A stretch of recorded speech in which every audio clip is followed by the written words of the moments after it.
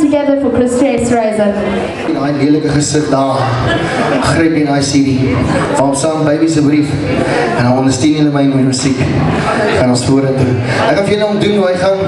So 'n bietjie van 'n voorsmaakie. So geniet ons al my. Dis een van my eie. Ek gaan dit.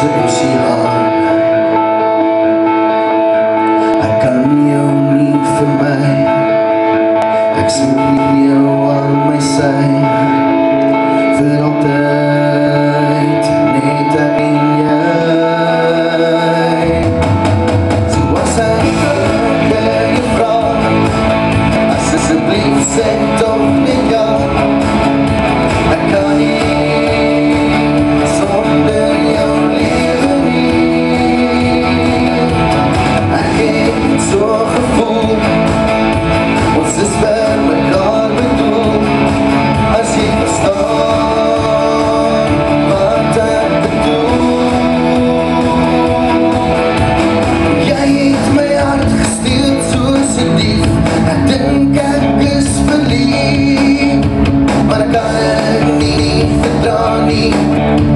ek bedoel